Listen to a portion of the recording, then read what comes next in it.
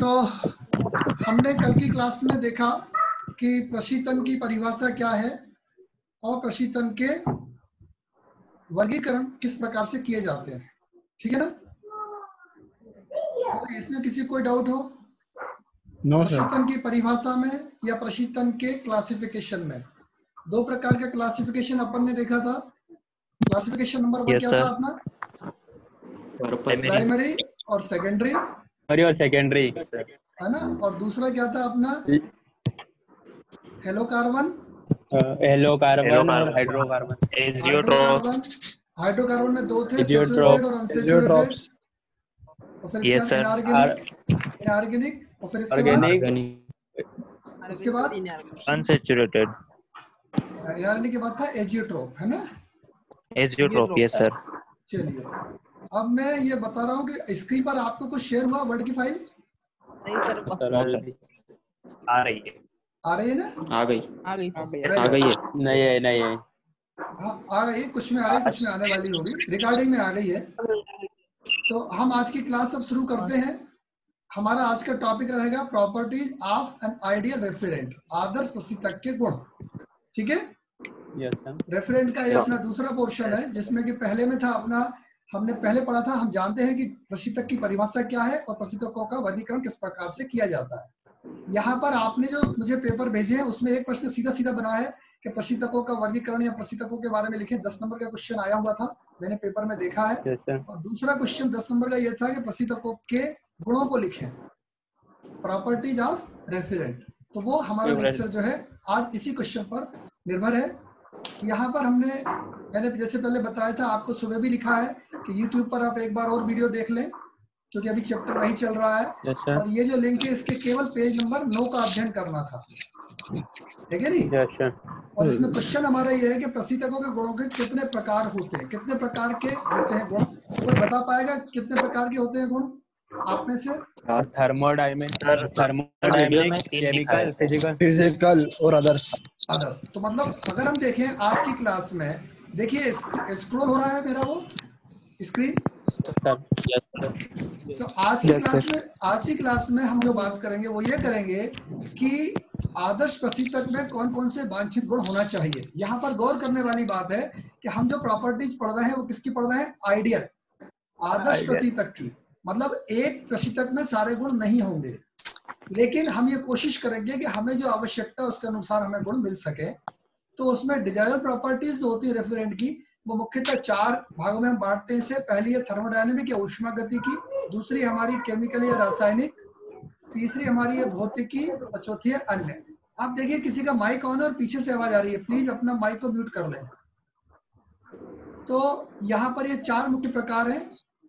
Thermodynamic chemical physical और others तो आपको इन्हीं चार कैटेगरी में रेफरेंट के टाइप लिखना है। यदि एक क्वेश्चन आता है बड़ा वाला तो इन चार में हर एक में पाँच पाँच टाइप्स के होते हैं। जैसे पहला अभी मैंने नीचे स्क्रॉल किया है वहाँ पर क्या दिख रहा है आपको? थर्मोडायनेमिक या ऊष्मा गति की एग्रीड कोई भी एक जन बोल सकता है आप में से? Yes, sir.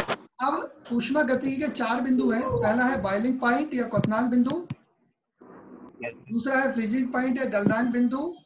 तीसरा है एवोपरेटर एंड कंडेंसर प्रेशर बाष्पित्र एवं संग्रहित दाब। चौथा है क्रांतिक तापक्रम या क्रिटिकल टेम्परेचर और चौथा है लेटेंट हीट या गुप्त ऊष्मा अब हमको थर्मोडायनेमिक प्रॉपर्टीज़ जो है उसमें ये पाँच बिंदुओं पर डिस्कस करना है।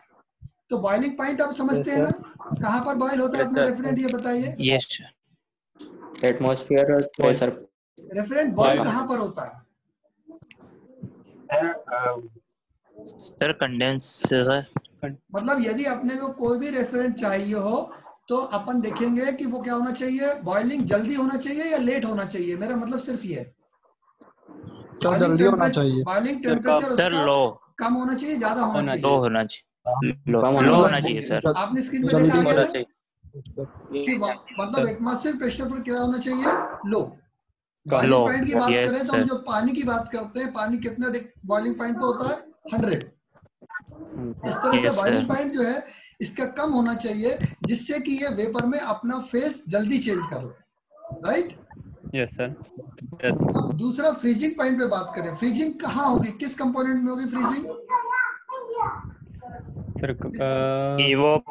ऑपरेटर एवोपरेटर के जस्ट पहले मतलब कहाँ पर होगी ये फ्रीजिंग अगर बेसिकली देखा जाए एवोपरेटर के अंदर तो क्या होगा? एवोपरेटर के अंदर तो वो अपना लिक्विड से वेपर में आएगा। वहाँ पे तो गर्मी लेगा यस सर हाँ हीट सर लेगा। तो उसके जस्ट पहले एक्सपांशन डिवाइस के अगर अपन देखें एक्सपांशन डिवाइस के जस्ट बाद में मतलब प्रेशर क्या रहेगा उस समय? Evaporator pressure right evaporation pressure पर ये लो होना चाहिए जिससे कि ये फ्रीज ना हो अपना रेफ्रिजरेटर sir ठीक है? बात समझ में आ गई? Yes यस yes तो पहला पॉइंट थर्मोडायनेमिक में क्या होना चाहिए? बॉइलिंग पॉइंट एटमॉस्फेरिक प्रेशर पर लो होना चाहिए। कम होना चाहिए। लो लो है ना? और जो अपना Yes, एवोपरेटर प्रेशर पर क्या होना चाहिए? फ्रीजिंग पॉइंट अब यदि अपन इस पे किसी. न्यूमेरिकल पे बात करें तो अपन ने जो न्यूमेरिकल किया है उसमें एवोपरेटर प्रेशर जनरली क्या रहता है? दो बार और और अपना कंडेंसर का कितना रहता है अपना? छह बार आठ बार लाइक दिस छह बार। अपन ने टेम्परेचर पढ़ा है चालीस degree minus ten like this तो किसी रेफरेंट के लिए उन्होंने एवरेज अपन देखें फॉर एग्ज़ाम्पल तो एवोपरेटर प्रेशर दो बार के करीब रहता है। और जबकि ये वाला जो रहता है छह या आठ जो भी डिपेंड करता है।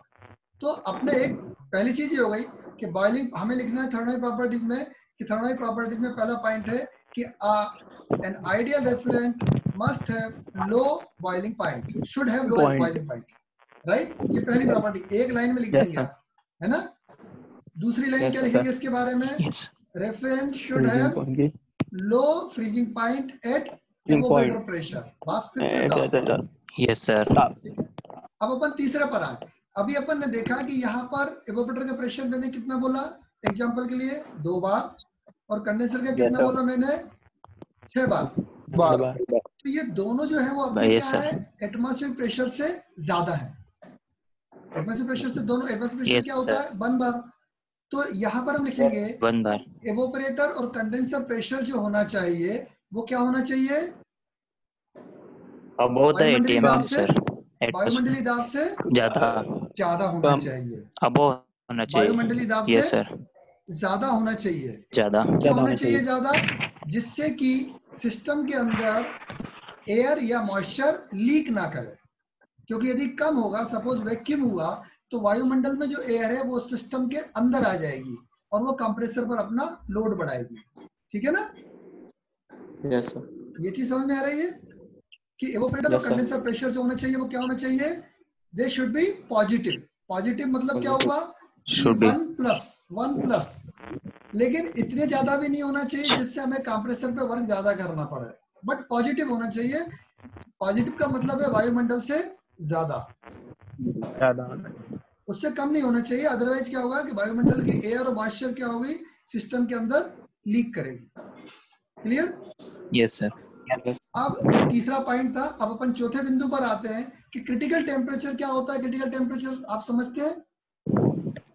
क्रांतिक तापमान। क्रांतिक हाँ, क्रांतिक क्रांतिक मतलब जिस पर लेटेंट हीट क्या हो जाती है हमारी? ज़ीरो ज़ीरो ठीक है? ज़ीरो और Yes. कंडेंसेशन ज़ीरो का मतलब क्या हुआ कि सीधा गैस फेस से कहा जाएगा? लिक्विड पर। कंडेंसेशन नहीं होगा। लिक्विड पर। Yes sir. तो इसलिए इजी कंडेंसेशन हमको करना हो रेफरेंट पेपर का तो उसके लिए हमें क्या होना चाहिए? क्रिटिकल टेम्परेचर अब आप बताइए क्या होना चाहिए? हाई होना चाहिए। इट शुड बी उच्च high it should be high high high high मतलब higher than higher than latent heat. Condenser temperature है ना? Yes sir. Higher than condenser temperature right yes sir yes sir मतलब जैसे 40 degree पर है तो उसका क्रिटिकल टेम्परेचर 40 से ऊपर का होना चाहिए। अदरवाइज़ क्या होगा? ऊपर होना वो चाहिए। लेटेंट हीट का हम यूज़ ही नहीं कर पाएँगे। सही है ना?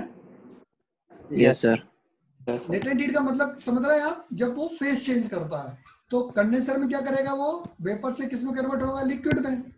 मतलब उसका क्या होगा? कंडेंसेशन कंडेंसेशन आसानी से हो उसके लिए क्रिटिकल टेम्परेचर क्या होना चाहिए? वहाँ तक नहीं पहुँचना चाहिए। मतलब वो हायर देन कंडेंसर होना चाहिए। और आखिरी आखिरी बिंदु हमारा ऊष्मा गतिकी में है कि लेटेंट हीट क्या होना चाहिए? ज़्यादा या कम? Sir high उच्च। हाई मुक्त ऊष्मा से हमको क्या मिलता है?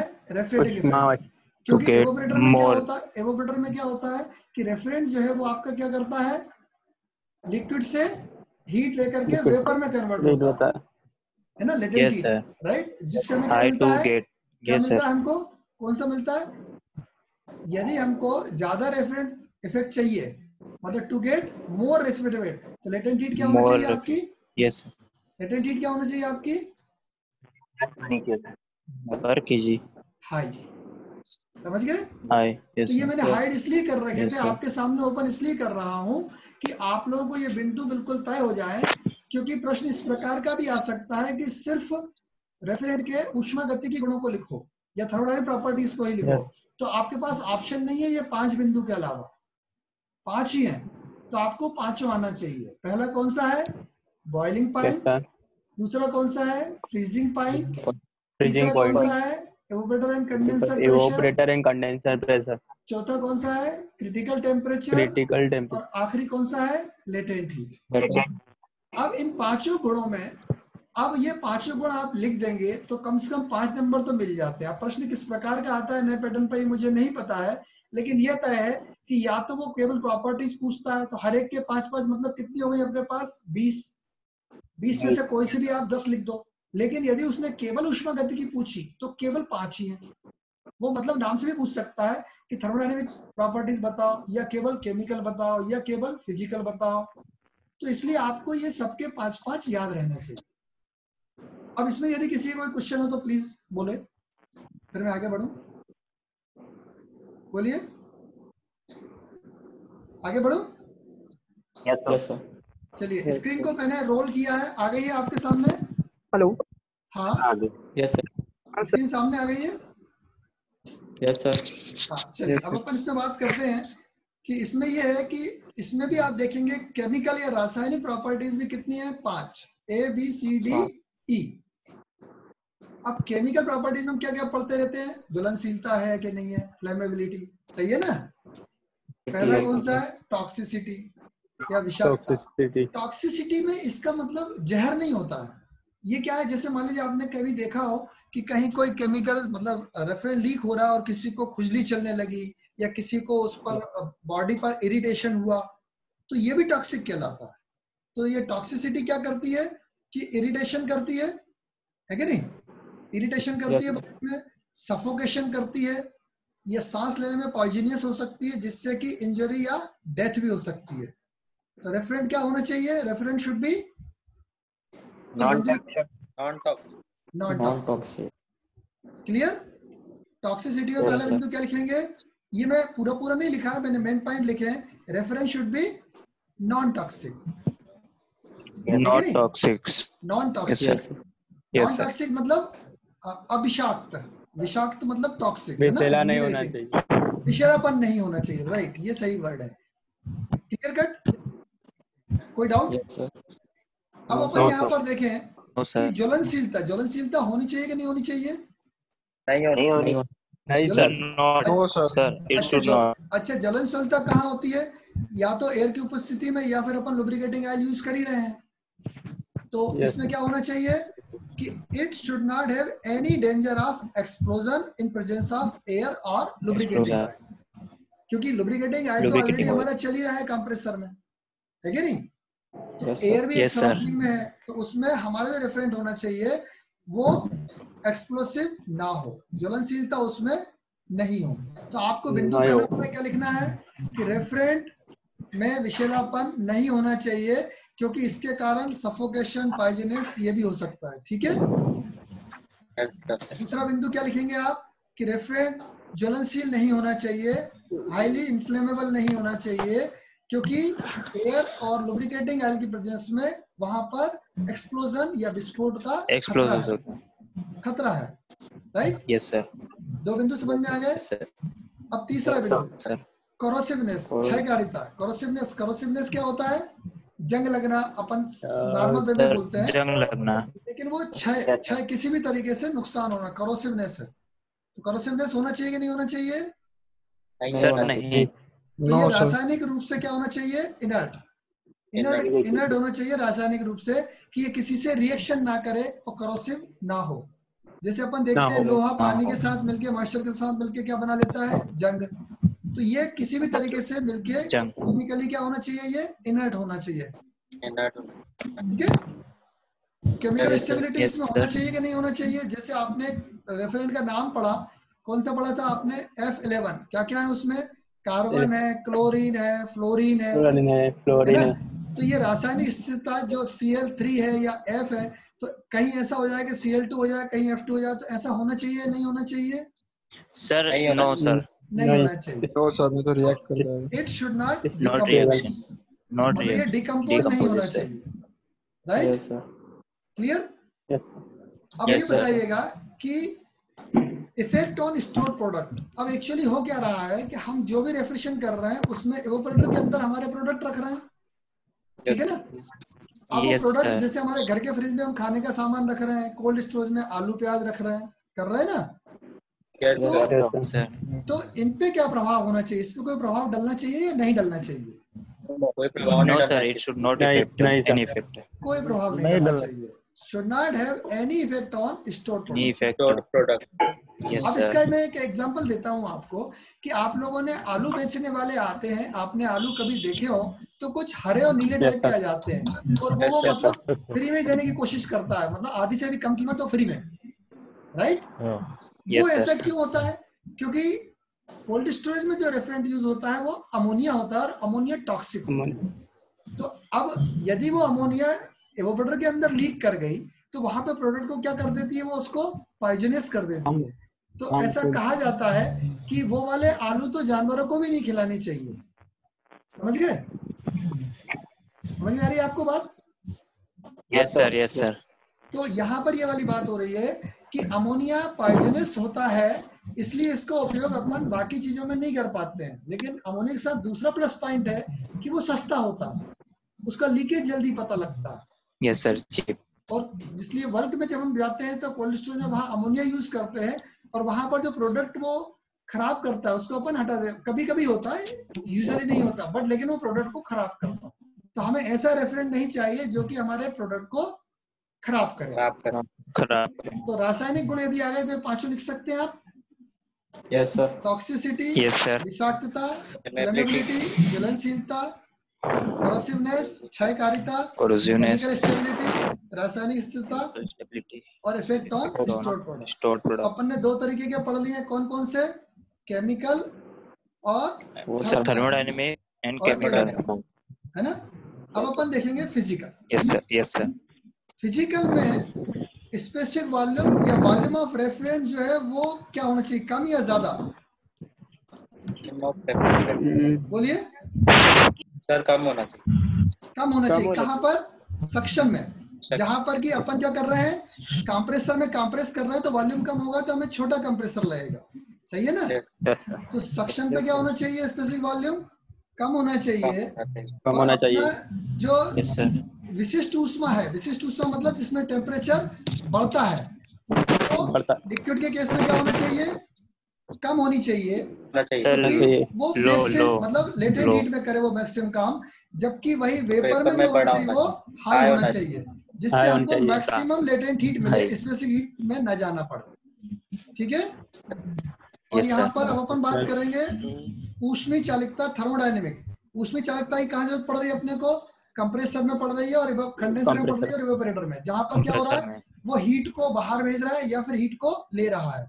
तो थर्मल कंडक्टिविटी क्या होनी चाहिए इसकी? ले रहा है। हाई होना चाहिए। हाई होना चाहिए जिससे जल्दी से वो ठंडा हो जाए जल्दी से वो गर्म हो जाए। गर्म। हो जाए। अच्छा स्मूथ फ्लो के लिए विस्कोसिटी क्या होना चाहिए? अपन ने पढ़ा था विस्कोसिटी फ्लूइड मैकेनिक्स कम में। होनी चाहिए। कम होनी चाहिए। विस्कोसिटी क्या होती है? बहने का विरोध करती है। लो विरोध करती है। इसलिए स्मूथ फ्लो के लिए विस्कोसिटी क्या होनी चाहिए आपकी? लो होनी चाहिए। स्मूथ फ्लो के लिए। अब डाइलेक्ट्रिक स्ट्रेंथ की बात करें तो आप लोगों ने हर्मेटिकल शील्ड में देखा होगा कि ऊपर मतलब ऊपर आपका रेफरेंट है और क्या है आपका? कंप्रेसर है जबकि नीचे मोटर है है, और बीच में ऑयल भरा हुआ है। तो वहाँ पर क्या होगा कि ये जो ये जो केमिकल का फार्मूला है वो मोटर के पास जाकर के इलेक्ट्रिक फ़ील्ड में जाकर के चेंज ना हो जाए। तो इसलिए इसकी डायलेक्ट्रिक स्ट्रेंथ क्या होना चाहिए? हाई डाइलेक्ट्रिक मतलब High. अपरिचालकता मतलब वहाँ से रिएक्ट नहीं करना चाहिए। यस सर ठीक है? तो इस तरीके से हमारे फ़िज़िकल प्रॉपर्टीज़ क्या क्या हो गई फ़िज़िकल प्रॉपर्टीज़ क्या क्या हो गई हमारी? Specific volume specific heat thermal conductivity viscosity और डाइलेक्ट्रिक स्ट्रेंथ तो कितने प्रॉपर्टीज़ हो गई हमने पास? पंद्रह। केमिकल फ़िज़िकल और थर्मोडाइनमिक रेफरेंट के लिए. होना चाहिए ऐसा है ना? अब अपन दूसरे मतलब मान लीजिए कभी प्रश्न इस प्रकार का आ जाए कि आपको जो है पाँच प्रॉपर्टी लिखने का बोल दिया कोई सी भी तो सबसे सस्ती कौन सी लगती है आपको? अच्छी वाली? सस्ता होना चाहिए. थर्मोडाइनमिक तो आपको अच्छा लगती नहीं जब भी आपको लिखने का बोला जाए। आप लोग क्या लिखते हैं? सस्ती होनी चाहिए रेफरेंट है ना? गैस सस्ती होनी चाहिए ये लिखोगे ना? गैस का वज़न कम होना चाहिए। ऐसे तो लिखते हो? इजीली अवेलेबल होनी चाहिए। हाँ तो इसका सबसे पहले मैं यही पॉइंट आपको बता दूँ जो आपका फेवरेट है कि कास्ट क्या होनी चाहिए इसकी? लो। कम होनी चाहिए? और उपलब्धता क्या होनी चाहिए इजीली अवेलेबल ज़्यादा होनी आसान चाहिए से। चाहिए आसान Easy। अब ये बताओ अपने को कि अपन इसको. रेफ्रिजरेशन में यूज़ कर रहे हैं तो सीओपी क्या होना चाहिए? कम या ज़्यादा और पावर क्या होनी चाहिए? सीओपी ज़्यादा होना चाहिए। अधिक कम। तो पावर कम होना चाहिए। ज़्यादा होना चाहिए क्योंकि वो हमारा क्या है आउटपुट रेफ्रिजरेट Output. इफ़ेक्ट है है ना? Yes, sir. Effect upon COP क्या हाँ, होता है sir. रेशियो होता है प्रशीतन प्रभाव और शक्ति का। तो प्रशीतन प्रभाव ज़्यादा होगा Yes, तो हमारा सीओपी क्या होगा? ज़्यादा। और प्रशीतन प्रभाव ज़्यादा, oh. होगा तो हमको ज़्यादा ठंडक मिलेगी है ना? रेफ्रिजरेट इफ़ेक्ट मिलेगा। यस सर और पावर क्या होनी चाहिए अपनी? कम होनी चाहिए। लेस होनी चाहिए कंप्रेसर पावर कम ले। सही है कि नहीं? अच्छा रेफरेंट और आयल में कैसे रिलेशनशिप रहना चाहिए? आपने देखा होगा सर ये एक दूसरे के साथ देख नहीं करना चाहिए। हाँ हार्मेटिकली शील्ड में क्या होता है? पहले रेफरेंट एवोपरेटर से कहा जाता है? ऑयल से मिलता है। फिर बाद में वो कंप्रेसर में होता है कंप्रेसर सर तो यहाँ पर ऐसा ना हो कि ऑयल भी केमिकल है और रेफरेंट भी केमिकल है तो दोनों आपस में रिएक्ट कर दें। तो आपस में रिएक्ट नहीं करना चाहिए। नहीं करना चाहिए। है कि नहीं? अच्छा Yes, अच्छा लीकेज की टेंडेंसी होनी चाहिए कि नहीं होनी चाहिए? नहीं होनी चाहिए। नो नहीं होनी चाहिए। अब अब सर जहाँ पर लाइन में कुछ लीकेज हो गया है आपने हल्का छोड़ दिया तो वहाँ से तो लीक होगी। इसकी टेंडेंसी नहीं होनी चाहिए। Basically leakage depends upon the difference pressure ठीक है ना? तो रिसाव की प्रवृत्ति का मतलब है कि ये कम से कम हो। अच्छा इसमें गंध होना चाहिए या नहीं होनी चाहिए? होना चाहिए होनी चाहिए। हाँ? होना चाहिए। होनी ये चाहिए सर इसके लीकेज के लिए पता करने के लिए इसमें गंध होनी चाहिए। अपने घरों की जो एलपीजी होती है उसमें इंटेंशनली डाला जाता है ना वो क्यों डाला जाता है? जिससे कि यदि गैस लीक हो रही हो लीकेज तो पता वहाँ पे हमको पता लग जाता है। It is advantages for leak detection right लेकिन दूसरी चीज़ देखें कि यदि ये लीक होगी तो प्रोडक्ट को खराब करेगी। स्पाइलिंग स्टोर सही है ना? अपने घर के फ्रिज में यदि गैस लीक हो खराब जाए करेगा। यस सर तो उस समय क्या होना चाहिए ये? हो जाएगी। सर ये क्या होना चाहिए? गंधहीन। क्या होना चाहिए? तो हमारे जो रेफरेंट होता है एफ़ ट्वेंटी टू या ट्वेल्व वो क्या होते हैं? फ्रियान ग्रुप क्या होते हैं? गंधहीन। उनमें ऑर्डर नहीं होती है। क्योंकि Yes, अपन. उनका मोस्टली प्रोडक्ट में यूज़ करते हैं जबकि वो स्पाइल ना हो ठीक है? सर तो इस तरीके से पाँच प्रॉपर्टीज़ हमारी अन्य हो गई। आपकी फेवरेट सबसे लास्ट में लिखी है मैंने कि कीमत कम होती है आसानी से उपलब्ध हो। ये दो बिंदु नहीं है ये एक ही बिंदु है। ठीक है ना? यस सर एक यस ही बिंदु है सर दूसरा बिंदु है कि सीओपी ज़्यादा हो और शक्ति कम हो। हाँ, तीसरा है कि रेफ्रिजरेटर और ऑयल आपस में रिएक्ट ना करें। जिसका जो काम है बस वो करे। लुब्रिकेंट का काम है कि रेफ्रिजरेटर को ठंडा करे तो उसको ठंडा करे। ऐसा ना करे कि अपने को मिला ले yes, और लीक Yes, टेंडेंसी कम होनी चाहिए। ऑर्डर जो है वो एडवांटेजियस है कब? जबकि लीक पता लगाना हो लेकिन डिसएडवांटेजेस है कब? जबकि वो प्रोडक्ट को खराब करे। तो इस तरीके से आज हमने जो डिस्कस किया है वो desire properties of an ideal refrigerant पूरा पूरा अपना क्वेश्चन तैयार हो गया ये. दस नंबर का या बड़े नंबर का तैयार हो गया है. छोटे नंबर पाँच नंबर या चार नंबर या छह नंबर में आएगा तो क्या आएगा? या तो थर्मोडाइनमिक प्रॉपर्टीज़ पूछेगा या फिर आपसे क्या पूछेगा वो? फ़िज़िकल या पूछेगा। या फिर क्या पूछेगा आपसे वो? रिएक्शन पूछेगा. केमिकल फ़िज़िकल या थर्मोडाइनमिक या फिर अन्य. ठीक है? यस यस सर सर तो इस तरीके से आज की जो हमारी क्लास थी उसकी मैं समरी करूँ। तो समरी करने पर मैं ये पाता हूँ कि आज की क्लास में हमने क्या पढ़ा? कि थर्मोडायनेमिक या केमिकल या फ़िज़िकल या अदर फ़िज़िकल होती है।